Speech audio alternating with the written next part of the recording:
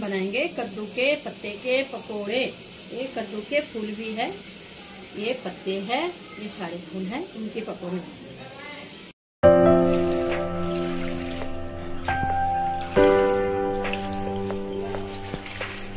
Thank you.